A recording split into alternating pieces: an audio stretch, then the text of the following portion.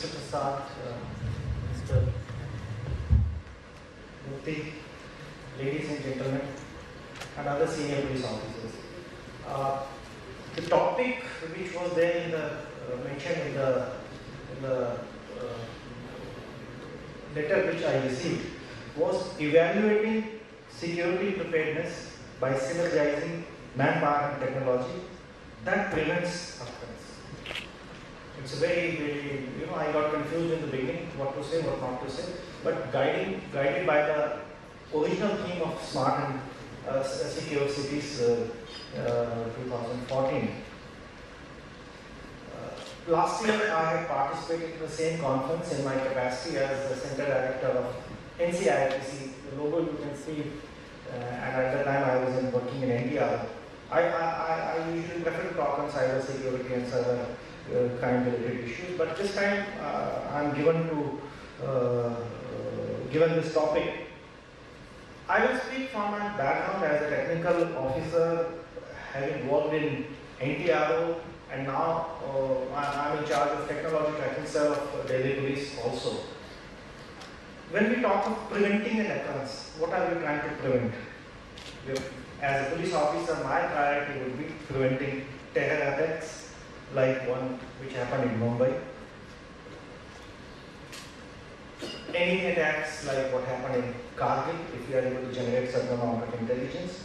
Serious crimes, preventing attack on our, our critical information infrastructure, preventing leakage of information by cyber espionage, and as a traffic police officer, again my priority is to prevent traffic accidents and manage the best uh, smooth uh, flow of traffic uh, in, in, in megacities.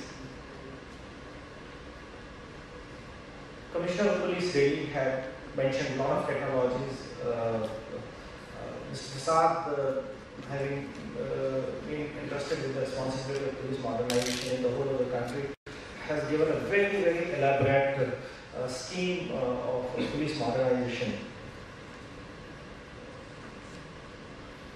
Has mentioned almost everything, CCTV, intelligence systems, dial biometrics, facial recognition. To that I will add one or two more points uh, about uh, technical surveillance. I was involved in technical surveillance in my earlier organization. A lot of uh, technological related issues are there in, in uh, enhancing our capabilities in that field, particularly the cyber intelligence collection. Then, during the Commonwealth Games, uh, we were preparing, I was additional commissioner traffic at the time, we were preparing for an intelligent traffic management system for the entire city and uh, uh, planning commission was uh, kind of to 200 crores rupees for that and also 200 crores additional for the satellite uh, NCR region. Uh, many of you are in the technology field would uh, know the situation. Why we were not able to uh, get tenders for that, what went wrong uh, in that situation. And uh, the, the intelligent traffic management system didn't happen in Delhi and Commonwealth came, games came and went. Then another aspect was e-policing. He has mentioned about CCTNS, NATGRID, and, and several other. One more thing I would like to add is the social media analysis and social media monitoring, which is very, very important, what is happening in the, in the, in the uh, cyber field. Then another technology could be GIS, crime mapping and prediction. As Commissioner of Police has said, any technology should help, any technology induction in police should help the public all. And it should help the policeman or the, or the attacks smoothing the system. But this is also a surprising fact that in several parts of the country, I would not like to name uh, a, specific instance, but you can always uh, know it from the newspaper. A dead body is found in one police station and a person is found missing in another police station. The dead body is cremated as unidentified and the man remains missing. And we are not able to match many of the times. Commissioner of Police in the morning was mentioning about a stolen vehicle and an abandoned vehicle and we need systems to connect them together intelligent, intelligently. there are, there these are two specific uh, instances where technology is available. There are many more technologies which are available, but what is the reason that this has not been able to become a part of our day-to-day functioning of police? As, as, a, as an engineer myself, and having been involved in a lot of technological projects uh, in, in central government, uh, Delhi police, uh, and other places, I really sometimes wonder here is the ministry so kind enough to give funds for police modernization. In fact, uh, most of the times uh, my experience of police modernization is that states are not able to spend that money. Ministry is, is you know, just like throwing the money on them and they say, no, no, sorry, we can't use it. Uh, uh, uh, and, the budget remains unutilized. It's carried forward. And here are new people from the industry, best examples of the industry uh, trying to fulfill uh, that, that uh, the technology is available. Then what is going wrong? What, here is the money, here is the technology provider. Why are we not able to assimilate this technology? This is the, the, this I have tried to address uh, in my in my lesson. The, the major problem I, to me is that in the beginning, as Commissioner of Police was saying in the morning, that police and technology meant only wireless sets. Then slowly a lot of other technologies came. And for managing wireless, that was the only technology available in police. We had a separate organization called uh, uh, there is an organization in the Ministry of Home Affairs uh, uh, police violation, violence and coordination uh, wing or something that organization. Uh, experts, WPC. Experts from that organization would come to police uh, on the DCPW, Directorate of Coordination Police uh, Wireless. That's the correct name. You know, the, the, the, having spent 26 years in police, I'm, I'm just targeting the name because the, the organization is trying, sort of different or something. Pardon me for saying that. uh, so that they came to police on deputation, they would try to establish modern uh, communication. Sir was mentioning that we are moving from analog to digital uh, uh and, and, several other uh, technologies. Uh, now technology has gone beyond wireless. I'm trying to fulfill the double role of a police officer and a chief technology officer. But not everybody can do that. Not everybody can keep track of technology uh, the way I have done. I just finished my PhD in cyber security from IIT Delhi. So my request would be to ministry as well as to police organizations that please try to fill this gap. There is no proper appreciation on the part of the security agencies that this is the technology available, this could be useful to me.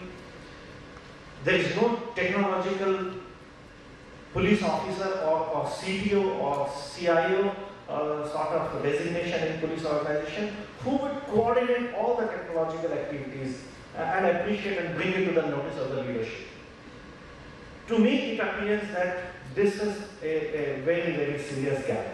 And I run another risk of being branded as a as a, as a technical police officer. अरे यार तुम तो computer जानते हो computerisation कर तुम IT शाईटी करते रहते हो I have heard it so many times in my career that sometimes I feel that uh, was I a better as an engineer? Should I have joined any organization? For example, I was heading the cyber division in NDR. Uh, even though I was a police officer, I was uh, Sachin, uh, uh, Sachin Burman from NCIIPC is here, very learned colleague of mine in India. There I was not as a police officer. I, I was handling the entire cyber division based on my technical knowledge, capabilities, interests and all that. Was I better there? The problem is that a, anyone any police officer with a B or B Tech degree is branded as a technical police officer, then he remains away from the, the other important assignments uh, and he continues to, you know, uh, SP, National State Crime Record Bureau, uh, IT, SP, DIG computerization, falana, falana, falana, is it an advantage to me that I am a technical police officer or is it a disqualification for me? I can very well say, say that I did my engineering from, from so and so college in, in 1983 uh, and I was not good at studies for that time. That's why I took history and sociology as my options in civil services and that's it. I don't know, thank you very much about the technology. Let me handle traffic, let me handle crime, let me handle any other police assignment because I am a core police officer. I have been selected as, a, as an Indian police service officer. The problem, sir, is I, am speaking from my personal experience and also from the other experience the gap between this technology and the policing has to be understood, both by, by the security agencies and also by the, by the industries. Another, another important aspect is whatever is true for, for New York, whatever is true for technology and the environment may not be applicable here. Sir spoke of ANPR. ANPR requires a certain standardization of number plate. We have certain standard number plates, the ANPR information will work 90%, 95% or something. Now here we have got in India all kinds of number plates. Uh, more than 50% are non-standardized. Uh, so my ANPR ratio in the recent evaluation could not go beyond 60%.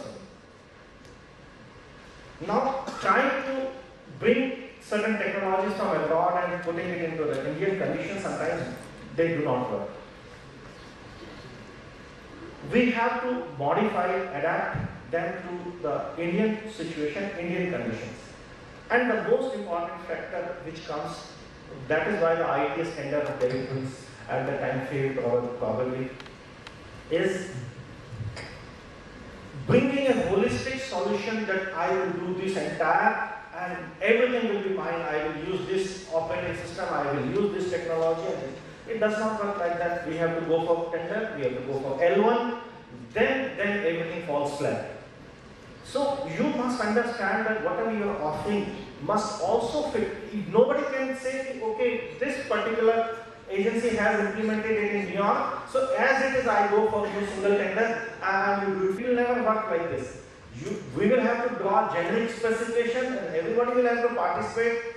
Maybe sometimes it's a global tender, and then, then you have to pitch in this technology. And there the role of system integrator comes in, where a, a very good system integrator is able to integrate a lot of technologies, a lot of systems, and, and, and uh, they work seamlessly with the existing technology, legacy systems also, as well as the new systems which we are offering. So my request to the ministry also that look into this aspect of uh, of uh, uh, some mechanism, institutional mechanism where a, a person is designated as a chief technological officer in every police organization uh, and also to you to understand the ground realities, the tendering process and the requirements, technological requirements uh, as per Indian conditions and modify, change uh, the, the systems accordingly so that they are able to fit into our, uh, our, our Indian, Indian environment as well as not only technical, human on the street but also the administrative environment. Thank you very much.